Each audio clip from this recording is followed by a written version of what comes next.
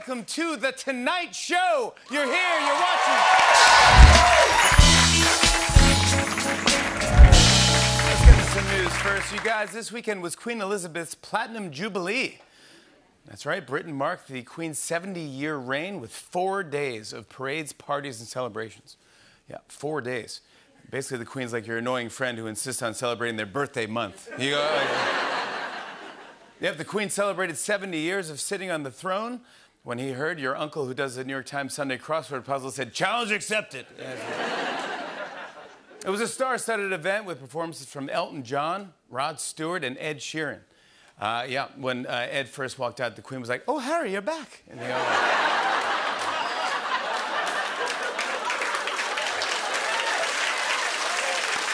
Ed Sheeran. Meanwhile, uh, Prince Andrew did not attend any festivities due to a positive COVID test. Andrew was like, it was weird. I keep testing positive right before every public event. Can you imagine the odds? yep, the Queen made several appearances this weekend, and at one point she showed up as her younger self in the form of a hologram. This is real. Check this out.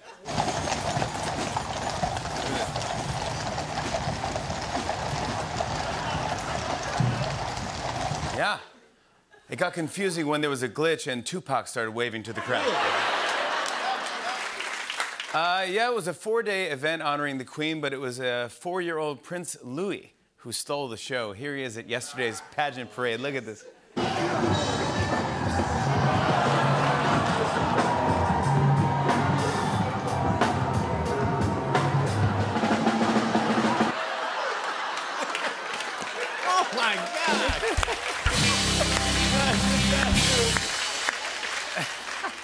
After 20 minutes, Kate was just like, just hand him the royal iPad, please, just so. Now, when Kate says, yeah, he's a real prince, people know she's being sarcastic. Uh, that's right, Prince Louis. His antics were going viral all weekend. Uh, here's one photo here.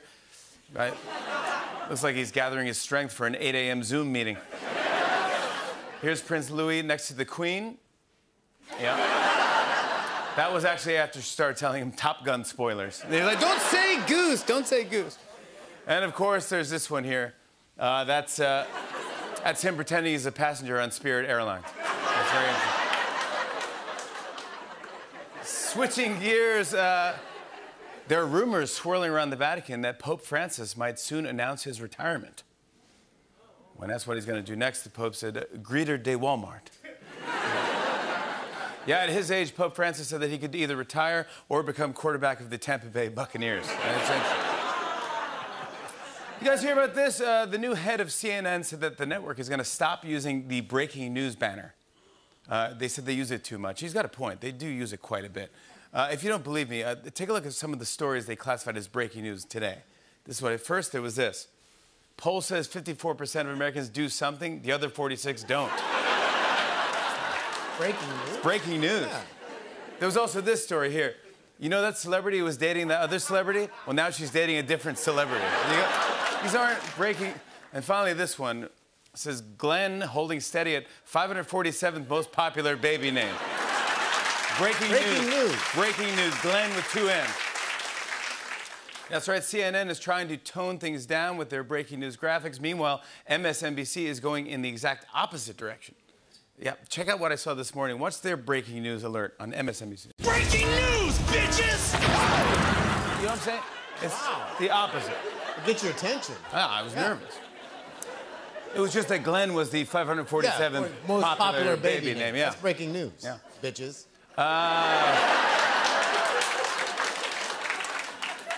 Listen to this, guys. Uh, Apple just announced a new feature that will allow people to edit and unsend messages. Ooh. When they heard Apple users were like, finally, what the duck took you so long? You know? yep, you can now unsend messages. Uh, now everyone gets to play that fun game. Did they see it before I deleted it? Yeah. well, hey, get this. Uh, according to a new study, the actors whose names we mispronounce the most are Saoirse Ronan, Joaquin Phoenix, and Ewan McGregor. Come on. Those are easy. I've never mispronounced any actors' names. It's my job. You know? Go ahead, try me. You, you, want me to test you on how to pronounce actors' names? Mm-hmm. Okay. Well, we'll start out simple. Who, who's this next to you? Oh, that's easy. Samuel L. Jackson. Okay. Who's this? Robot Diner. Come on, give me some hard ones, man. You want rapid? You want rapid fire? You want rapid fire? Fire away, man. It's man. a great idea, but I'm ready. uh, all right, here we go. Let's just start rolling. Who's this? Easy. Kate Blanket. No. 18 bananas. French fries McDonald's. Batman Riddler. Lego Mago. Penn and Teller. Oh, that's uh, Benito del Taco. Uh, Gilligan's Island. Itchy Dandruff. Tennis Elbow. Shining Taint. They want a bone in the car. Oh, I love this guy. I love this guy. Colin Birth. All right, that's very good right there. Hig- Steve Higgins, everybody, very talented. Very talented. Glenn. Uh, hey guys, I read about a theme park in Pennsylvania where a ride malfunctioned and left passengers stuck upside down. They couldn't fix it, so they just said the theme of the ride was Stranger Things. Uh, this went viral. Uh, two women in England were relaxing on an oversized chair, and they realized that they couldn't get out. Watch this. Jesus Christ. Jesus. Use your crotch, Sue. Use your crotch. Use your crotch. Jesus, Sue, give me your crotch. Use your crotch. Use your crotch. In all fairness to Sue, it really does look like she's using her crotch as hard as she can. Fake friends help you out of a chair. Real friends film you, laugh, and then post the video on the internet. Anyway, they live there now. Uh, well, guys, here's some uh, big news. According to a new study, dogs are more effective at detecting COVID than rapid tests. I'm glad we've reached the point in the pandemic where the CDC is like, "Oh, I don't know, dogs? I, I, I don't. Yep, knowing the CDC in two days, they're gonna be like, never mind, it's actually rabbits. I'm sorry. Seriously, I, I have no idea what's going on today. I saw Sarah McLachlan snuggling a person with COVID and asking pets to help. I didn't know what was happening. But here's how it works with dogs. Uh, If you have symptoms, they sniff your crotch. One hump. One hump means you're negative, two humps means you're positive. That's all, that's all. That's what they're saying. I- Yeah, apparently uh, dogs are better at detecting COVID than rapid tests, which explains now when you take an at home test, the instructions look a little different. Yeah, now the steps are uh, one, open package, two, remove at home COVID test, three, walk and feed at home COVID test, four, receive unconditional love from at home COVID test, uh, five, neuter at home COVID test. Six, let at home COVID test sleep in your bed. Move to couch. That is your bed now. Seven, socialize with other at home COVID tests at the at home COVID test park. Make small talk with other at home COVID test owners. Eight, repeat step seven for 16 years. Nine, tell kids at home COVID test when to live on a farm upstate. 10, try to get new at home COVID tests. 11, discover your wife is allergic. 12, get cat. Uh, just, that's the instructions. When you get at home, that's the A lot. some more news. Uh, I saw that gas prices across the country have once again surged to a record high. You know, at this point, it's worth filling your car with Mountain Dew and just seeing what happens. I mean, why not? What's the worst that could happen? I- I'm worried there's no solution in sight. Today, President Biden was like, uh, let's see if the COVID dog's got anything on this. I go, well, guys, today was the busiest election day before November with primaries in many states, including New Jersey, California, and Iowa. And there are a lot of races and a lot of candidates, so we thought we'd get you caught up on what the biggest issues are to some of the candidates right now. Uh, first, there's Donald Payne Jr. of New Jersey. He's running on making it legal to dress like a ventriloquist dummy. That, that's how is that? How is that an issue? I didn't know it was illegal. These are issues they're very Yeah. concerned about. Here's Dusty Johnson of South Dakota. He's running on changing his name to not sound like he's in a 70s porn star. That's his issue? Dusty, Dusty Johnson. Dusty Johnson.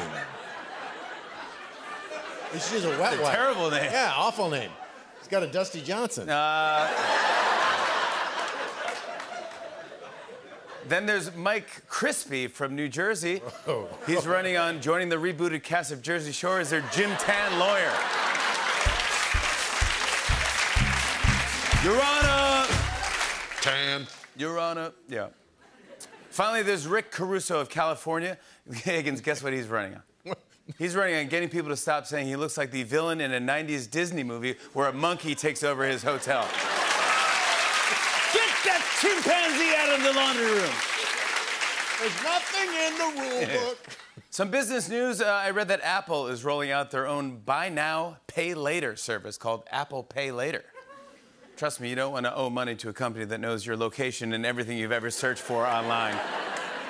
and if you miss a payment, they send over two skinny goons from the Genius Bar named Ethan and Zach.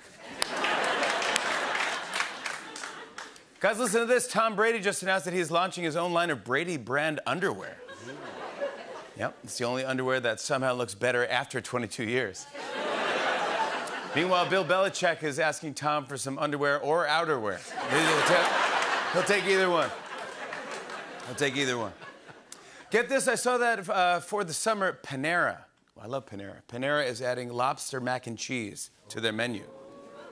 Yeah, it's actually part of the Panera's broader strategy to revamp their brand, and it really seems like they're making some big changes. Watch this commercial I saw. Introducing the all-new Panera Bread. You've always loved our sandwiches and delicious soups served in bread bowls. Well now, come and try our lobster mac and cheese, also served in a bread bowl. Or cool off with our refreshing lemonade, served in bread cups. Hey, how about a bread salad or a bread cookie dunked in an ice-cold glass of bread? Enjoy it while you sit in our bread booths and wave to our bread employees with your bread wife and your bread kids and your bread dog. And we've got fresh bagels. Panera Bread. Bread.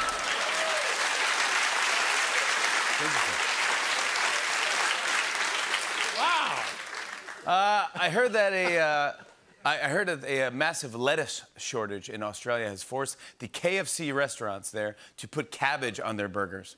Yeah. My question is, who's getting burgers at KFC? Oh! Oh! Switch them up! Switch them up! Damn! They said, they said, they said the bad news is we're out of lettuce, and then the customer said, okay, then what's the bad news? Now, here's some good news. Today, Moderna announced a new version of their COVID booster that's eight times stronger and provides longer lasting protection. Which sounds less like a vaccine, more like an ad for Right Guard deodorant. But still, seven times the protection, yeah. Moderna is going to have a new shot by this fall. Uh, you know the pandemic's been going on too long when even the vaccines have variants. Um, and people are talking about this. I saw that Elon Musk is threatening to walk away from his $44 billion deal to buy Twitter.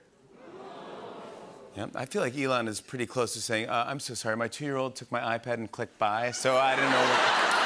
so we're cool, we're cool, right? Can- Yep, Musk said that he reserves all rights not to consummate the transaction. Which sounds like something Mike Pence said on his honeymoon. I, I- hey, wait, whoa, wait, why, why would you do that? Pence. And other. In other news, I read that the Biden administration has been trying to contact North Korea for the past month, but hasn't gotten a response. To be fair, to be fair, there's a time difference. Uh, here it's about 11:40 p.m., while in North Korea it's 1955. So- Did you get that fax yet? Yeah. Switching gears, I saw that Amazon has opened its first physical clothing store with brands like Calvin Klein, Lacoste, and Levi's. It's not the only exciting thing that Amazon is working on. Check out this commercial that they just released. Are you tired of how convenient it is to go online for all your shopping needs? Wish you could go someplace with even less stuff? Introducing Amazon's latest innovation, the Mall. It's just like shopping on our website, but now you get to drive 45 minutes to a drafty building full of bored security guards and cool teenagers that laugh at you when you walk inside. At the Amazon Mall, you can buy almost anything, as long as it's from these 12 stores, including Auntie Anne's pretzels and a smaller Target. And the best part, everything here is somehow even more expensive. Amazon's Mall. From Amazon, the penis rocket people. Is that what they're called? That's the tagline now? No. That's their. Penis rocket. I know, yeah. yeah. Uh, well, some entertainment news. The director of uh, the Joker movie, starring Joaquin Phoenix, has confirmed that there's going to be a sequel. And the title is French. The title is Joker Folie Deux. Folie.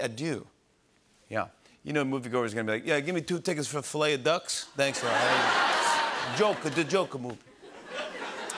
I heard that uh, the federal government is investigating complaints from Honda Pilot owners that say that their engines won't restart. Of course, Honda immediately rebranded it as the most fuel efficient car ever. You understand. Meanwhile, Kia owners are like, hey, at least your car started once. Hey. Well, get this a man in the UK has set a new world record after he drank at 56 pubs in 24 hours. Yep, Guinness calls it a world record, uh, while his wife calls it a problem. Uh, not sure if it counts because he pretty much weekend at Bernie the last 10 pubs. He's like, give me another one. Uh, listen to this a Scottish couple unofficially broke a world record after they ran 106 marathons in 106 days. Answering the question, what is the opposite of drinking at 56 pubs in 24 hours? That's what I'm talking about. Just give me another one. Uh, well, guys, we had a great lead in tonight. We're following the January 6th hearing. So, you guys ready for some comedy? That's right. Earlier tonight, Congress held the first public hearing on the January 6th attack, and it aired in prime time across all major networks. Yep, the footage is uh, rough to get through. Right after the hearing, I watched an episode of Dateline just to lighten the mood. Uh, five minutes in, even Mike Pence was like, I've had enough. Let's see what's happening on RuPaul's Drag Race. Yep, all the major networks are airing the hearings, but Fox News isn't. Instead, they're showing reruns of January 6th with the laugh track. I don't think that's, they should. That's right, tonight, NBC, CBS, ABC, MSNBC, and CNN all showed the first hearing, but Fox News didn't. Apparently, they didn't think it was newsworthy.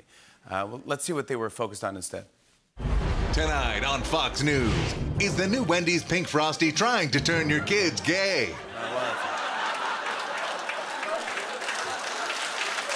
Thanks they find that newsworthy. Some more news out of Washington. I read that President Biden has been dealing with a rapid turnover of his staff. And of course, the White House tried to spin it like, hey, look at all the new jobs the president is creating. yeah, things are tough at the White House today. Uh, Biden was like, hey, Jill, can you believe how many people are le- Jill? Jill? Well, this is fun. Uh, Uber released their annual Lost and Found Index, which reveals the items reported lost by passengers. Uh, glasses, phones, keys were some of the more common ones. But get this: five people left uh, behind. They left behind their dentures. Uh, apparently, some people like to go for a ride because they love the feel of the wind in their gums.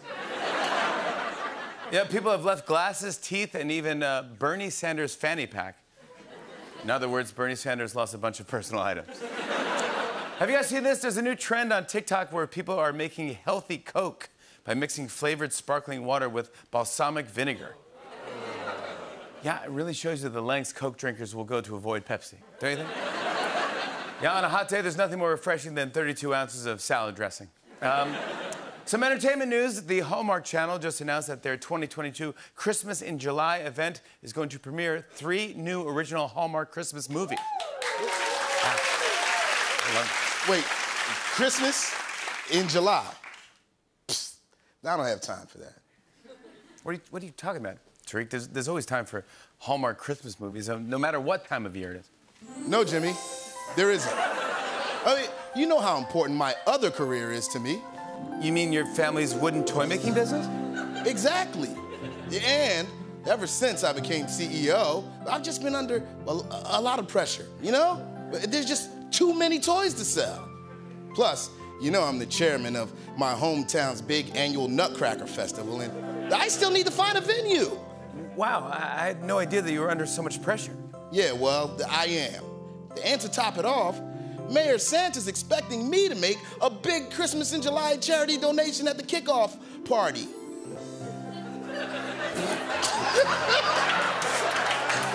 the kickoff kickoff party? Well, yeah. All right, well, Tariq, I think the answer might be closer than you think. What's that on your bandstand? It's a wooden nutcracker. That's it. Well, we'll hold the big annual Nutcracker Festival kickoff party at my family's wooden toy factory and then just donate all our extra toys to charity. Jimmy, you just saved Christmas in July.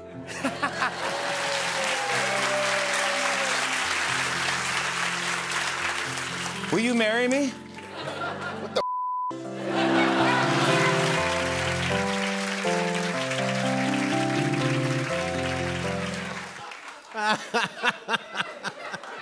Kick, kick, kickoff party. Yeah. He, didn't- he didn't know how he was going to do it at the kickoff. Yeah. Party.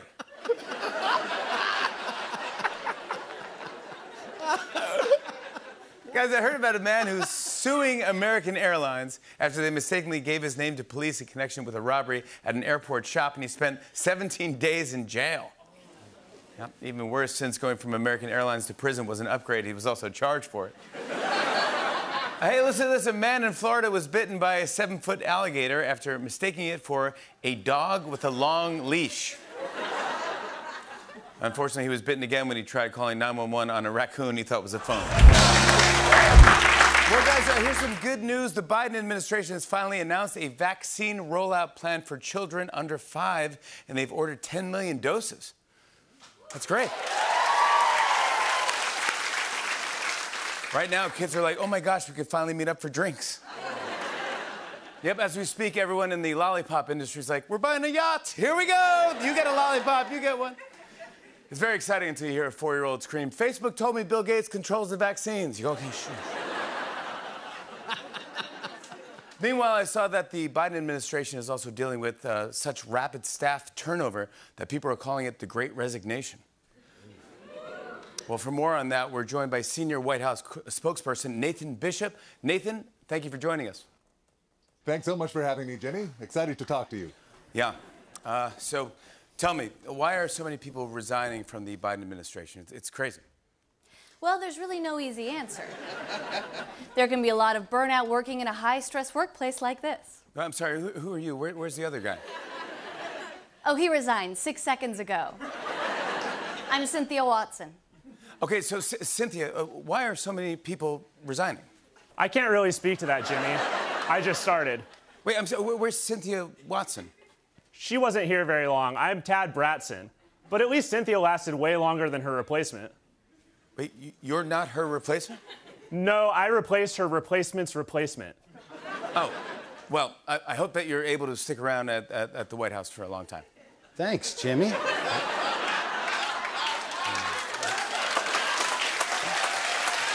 Sorry.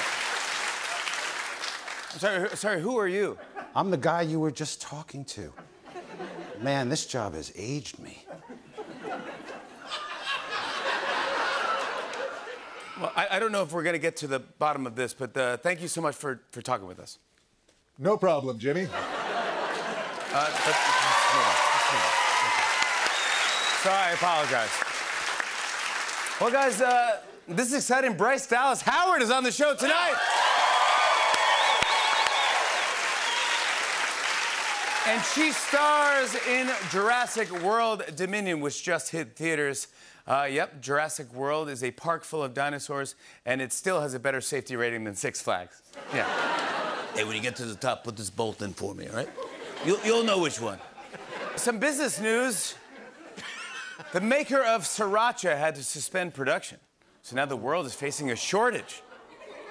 How is that even possible? I've been using the same bottle of Sriracha since college. And finally, I heard experts are calling Beefalo, the bison cattle hybrid, the healthy meat of the future. Yeah, beefalo. And they say the perfect beefalo is 37.5% bison, which is pretty specific. Yeah. Uh, but it actually gets even more specific. Here's how, what happened when the perfect beefalo did a DNA test. Yep, take a look at this. The perfect beefalo is 37.5% bison, 31.5% cow, 10% French Huguenot, 6% Cherokee, 4% Genghis Khan, 2% that bison from before, well, he's not your dad, he's your uncle. 2% your real dad is a moose. 2% he has a whole secret moose family. You have eight step moose. 2% do they know about you? Should you contact them or live forever wondering what might have been? 2%, I messaged one of them. We're meeting up in Yellowstone. I feel a love and acceptance I've never felt. For the first time, I, a beefalo, truly know myself. This is the first day of the rest of my life. And 1% chicken. There you go. That's it.